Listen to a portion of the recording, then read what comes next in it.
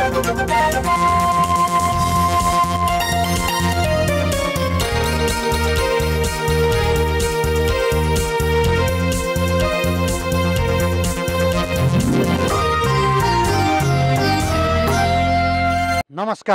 Nepal television हेरेर बसिरहनुभएका सम्पूर्ण आदरणीय दर्शक महानुभावहरूमा काठमाडौँ महानगरपालिकाको दैनिक टेलिभिजन कार्यक्रम हाम्रो काठमाडौँको आजको अङ्कमा यहाँहरूलाई स्वागत छ।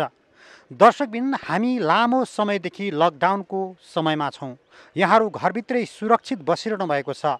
हामी घर बाहिरका कुराहरू यहाँहरूलाई जानकारी गराउने प्रयास गरिरहेका छौँ। दर्शकबिन काठमाडौँ महानगरपालिका क्षेत्रभित्र विश्व सम्पदा सूचीमा रहेका चार स्थानहरूमध्ये यो पशुपतिनाथ क्षेत्रमा यतिखेर हामी छौँ। लकडाउनभन्दा अगाडि निकै भिड हुने पशुपतिनाथ क्षेत्र यतिखेर अत्यन्तै सुनसान अवस्थामा छ। त्यस्तै बौद्ध स्वयम्भू र बसन्तपुर क्षेत्र पनि अत्यन्तै शून्यता छाएको छ। कोरोना सङ्क्रमणको त्रासले आम नागरिकहरू बाहिर निस्कन सक्ने अवस्था छैन भने सरकारले सङ्क्रमण रोकथाम र न्यूनीकरण गर्नका लागि लकडाउनलाई अझ लम्ब्याइरहेको छ र यसलाई अझ कडाइ गर्ने काम पनि गरिरहेको छ।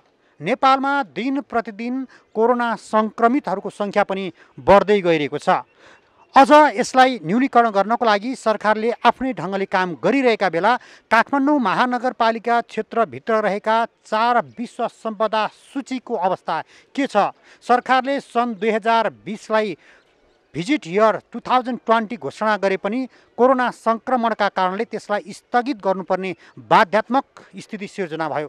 नेपालको आर्थिक मेरुदण्डको महत्त्वपूर्ण पाटो रहेको पर्यटन क्षेत्रलाई यो अहिलेको कोरोना सङ्क्रमणले त्राही त्राही मात्रै बनाएको छैन। नेपालको आर्थिक क्षेत्रलाई धेरै तल गिराउने काम पनि गरिएको छ। यसले आर्थिक क्षेत्रलाई तहस नहस पनि बनाएको छ।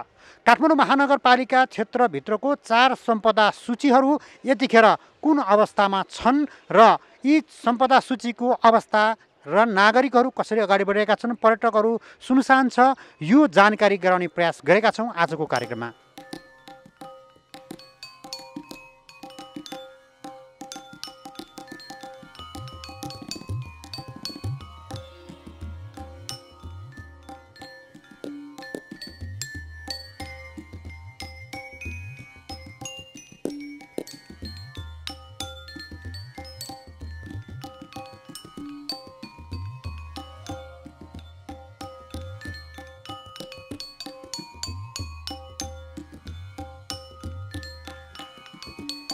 दर्शकबिन हामीले यहाँहरूलाई पशुपति क्षेत्रको दृश्यहरू यहाँहरूलाई देखाइरहेका छौँ। पशुपति क्षेत्रमा विशेष गरी पशुपतिनाथको आराधना गर्ने क्रममा धेरै दर्शनार्थीहरू अहिले त्यसबाट वञ्चित हुनुभएको छ। विशेष गरी भिडभाड हुने क्षेत्रमध्येको हो यो। र दैनिक पूजा आराधना बाहेक पशुपतिनाथमा अन्य कामहरू ठप्प भएको छ? दर्शन गर्न आउने दर्शनार्थीहरूको लागि पनि यतिखेर रोकिएको छ। यहाँ विशेष गरी घाटमा सब जलाउने काम पनि चलिरहेको छ। त्यसबाहेक अन्य विगतमा हुने गरेका जस्तो भिडभाड देखिएको छैन।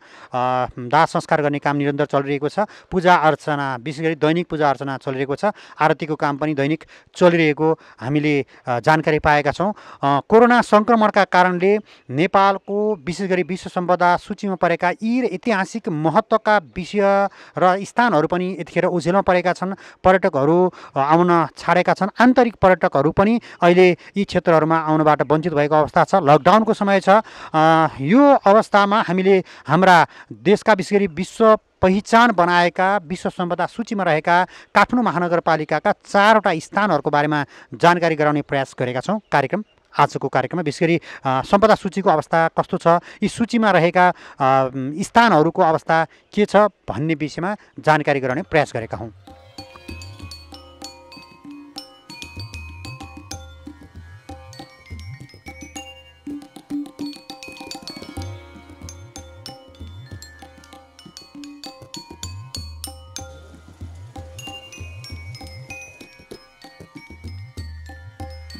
दर्शकवृन्द हामीले काठमाडौँ उपत्यकाभित्रको विश्व सम्पदा क्षेत्रको स्थितिका बारेमा देखाउने क्रममा पशुपतिनाथमा छौँ र पशुपतिनाथको मुख्य द्वारका रूपमा रहेको यो प्रवेशद्वार नै बन्द रहेको अवस्था छ। पर्यटकहरू धर्म गर्न आउने कोही मानिसलाई पनि प्रवेश गर्न दिएको अवस्था छैन।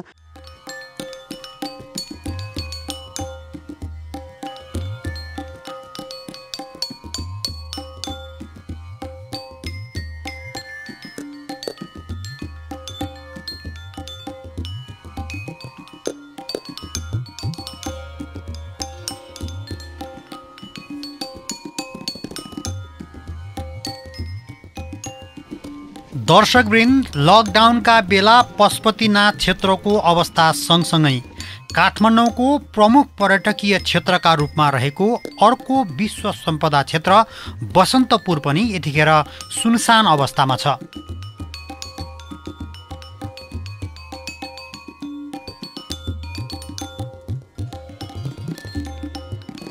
लकडाउन अघि यस क्षेत्रमा दैनिक हजारौँको सङ्ख्यामा विदेशी तथा स्वदेशी पर्यटकहरूको भिडभाड हुने गर्दथ्यो।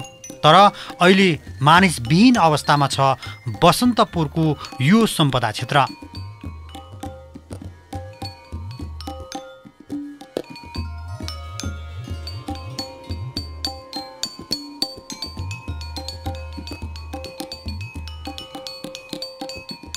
क्षेत्र संयुक्त राष्ट्र सङ्घीय शैक्षिक वैज्ञानिक तथा सांस्कृतिक सङ्गठन युनेस्को विश्व सम्पदा सूचीमा सूचीकृत क्षेत्र हुन्।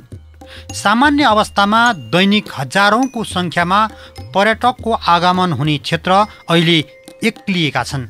निर्जीव अवस्थामा रहेका ती मन्दिर तथा मूर्तिलाई यहाँका रैथाने जीव जन्तुले सहारा दिइरहेका छन्।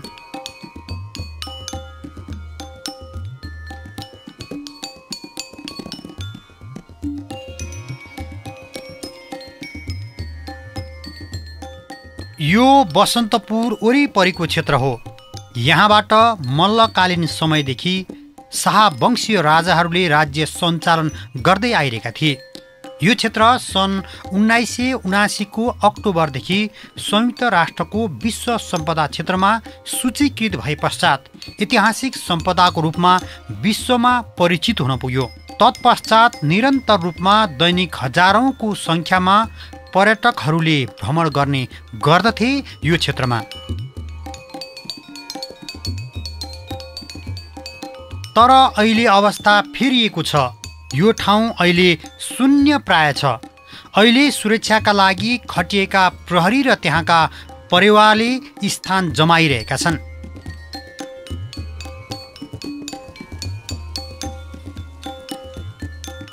विक्रमसम्म दुई हजार बहत्तर वैशाख बाह्र गते आएको विनाशकारी भूकम्पका कारण यस क्षेत्रमा रहेका ऐतिहासिक मठ मन्दिरहरू ढलेका थिए। भूकम्पका कारण क्षति पुगेका कतिपय मठ मन्दिरहरू अहिले पनि निर्माणाधीन अवस्थामा रहेका छन्। भूकम्पका समयमा बसन्तपुर दरबार क्षेत्रको मन्दिरहरू ढल्दा सयौँको सङ्ख्यामा मानिसहरूले ज्यान गुमाएका थिए।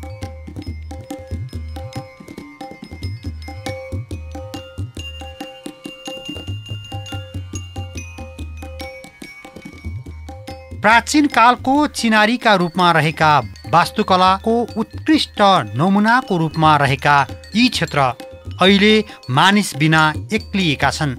बसन्तपुर दरबार क्षेत्रभित्र विभिन्न धार्मिक सांस्कृतिक वास्तुकला काष्ठकलाका पूर्ण सम्पदाहरू छन्। यसर्थ यस क्षेत्रलाई अनुसन्धान दृश्यावलोकनका दृष्टिले एक खुल्ला सङ्ग्रहालयका रूपमा मान्न सकिन्छ। यो क्षेत्र काठमाडौँ उपत्यकाका सात संरक्षित क्षेत्रहरूमध्येको सबैभन्दा ठुलो क्षेत्र पनि हो।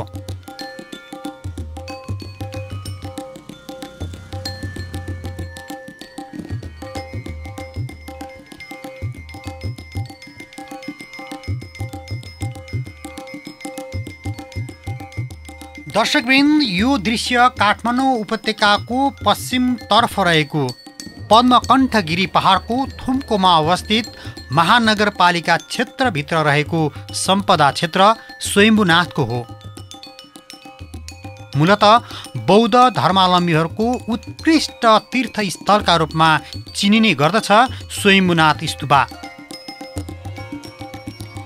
बौद्ध धर्मावलम्बी मात्र होइन अरू धर्मावलम्बीका मानिसहरू पनि उत्तिकै आस्था र विश्वासका साथ दर्शन गर्ने गर्दछन् स्वयम्भूनाथ क्षेत्रभित्र।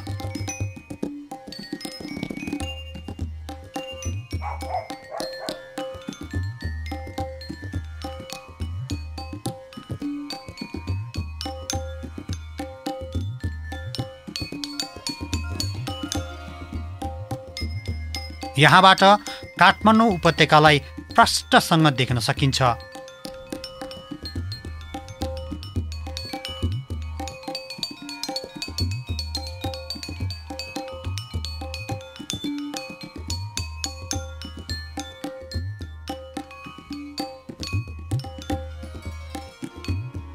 भनिन्छ स्वयम्भूको दुईवटा आँखाले न्याय र अन्याय छुट्याइ हेर्छ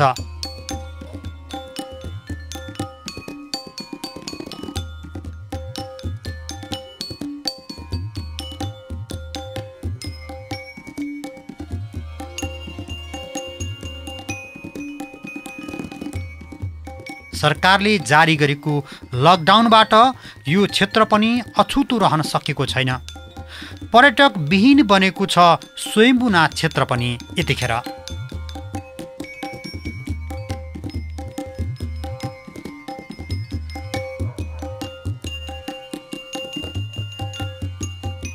यो धार्मिक स्थलमा अहिलेको समय अर्थात् लकडाउनको समयमा बाँदर मात्रै देखिन्छ। मानिस विहीन रहेका ती स्थानमा बाँदरहरू लोभलाग्दो तरिकाले आफ्नै संसारमा रमाइरहेका देख्न सकिन्छन्।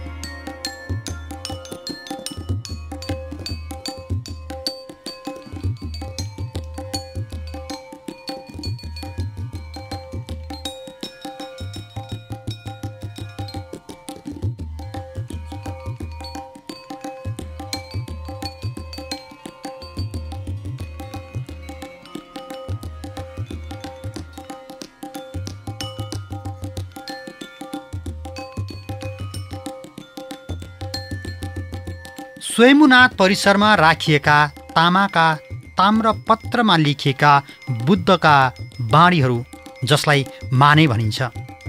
सधैँ चलायमान भइरहने यी मानेहरू अहिले स्थिर अवस्थामा रहेका छन्। मानौ कि कोभिड नाइन्टिन अर्थात् कोरोना भाइरसको कहर चाँडै नै हटोस् भनी ध्यानमा मग्न बसे जस्तो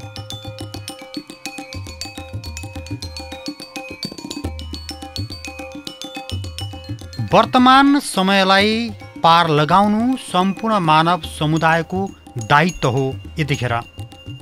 केही समय धैर्य धारण गरी कोभिड नाइन्टिनको कहरलाई चाँडै नै पार लगाई पुनः पुरानै अवस्थामा पुग्ने कुरामा विश्वास गर्न सकिन्छ।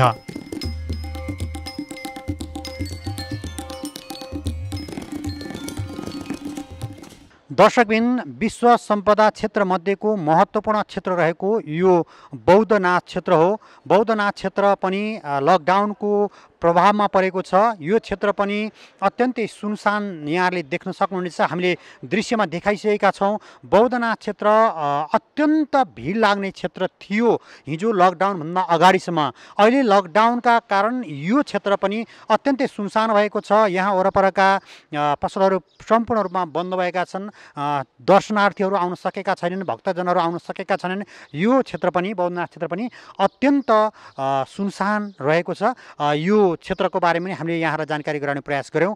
हामीले काठमाडौँ महानगरपालिका क्षेत्रभित्रका चारवटा सम्पदा क्षेत्रको बारेमा आजको कार्यक्रममा जानकारी गराउने प्रयास गऱ्यौँ। हामी लकडाउनको समयमा छौँ। यहाँहरू घरभित्र सुरक्षित बस्नुहोस्। आफू आफ्नो परिवार र समाजलाई सुरक्षित बनाउने काममा यहाँहरू सक्रिय हुनुहुन्छ। हामी घर बाहिरका कुरा विशेष काठमाडौँ महानगरपालिकाले यहाँहरूको लागि गरेका विभिन्न सेवाका कामहरू र विभिन्न क्षेत्रको वर्तमान अवस्था लकडाउनको अवस्थामा काठमाडौँ महानगरपालिका क्षेत्रभित्र के के भइरहेको छ भन्ने जानकारी गराउँदै आइरहेका छौँ। आजको कार्यक्रमको निर्धारित समय सकिएको छ। भोलि पनि नयाँ विषय र प्रसङ्ग लिएर आउने नै छौँ। तबसम्म लागी लागि सम्पूर्ण टिमसहित म वैकुण्ठ भण्डारी विदा चाहन्छु नेपाल टेलिभिजन। हेर्दै गर्नुहोला नमस्कार।